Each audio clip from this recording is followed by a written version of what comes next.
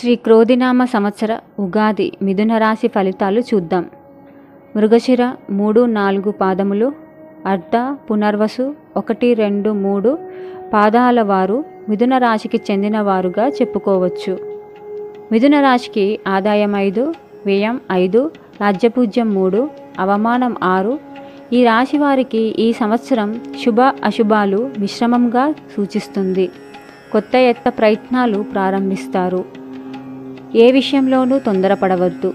మీ మీరు చేసే ప్రతి పని నిదానంగా ఫలిస్తుంది. ఆదాయ వ్యయాలు సంతృప్తికరంగా ఉంటాయి. నూతన పెట్టుబడులకు దూరంగా ఉంటే మంచిది. ఎందుకంటే కలిసి రావు. వివాహ ప్రయత్నాలు ఫలిస్తాయి. వధువరుల జాతకాలు సరిచూడడం ప్రధానం. దంపతుల మధ్య తరచూ కలహాలు జరిగే సూచనలు కనిపిస్తున్నాయి. సంతానం విషయంలో శుభ ఫలితాలున్నాయి. బంధుమిత్రులతో సత్సంబంధాలు నెలకొంటాయి. వేడుకలు శుభకార్యాలలో పాల్గొంటారు. వస్తులాభం వస్త్రప్రాప్తి ఉన్నాయి. సొంతగా ఏదైనా చేయాలనే మీ ఆలోచన కార్యరూపం దాల్చుతుంది. ఆరోగ్యం విషయంలో జాగ్రత్త అవసరం. వైద్య పరీక్షల విషయంలో అశ్రద్ధ చేయరాదు.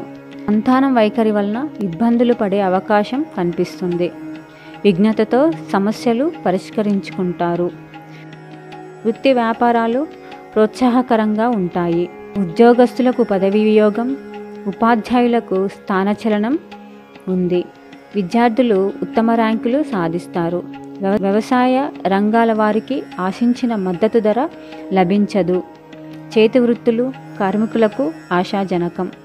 ఈ రాశి వారికి సూర్య భగవానుని ఆరాధన లలిత సహస్రనామ పారాయణం శుభదాయకం.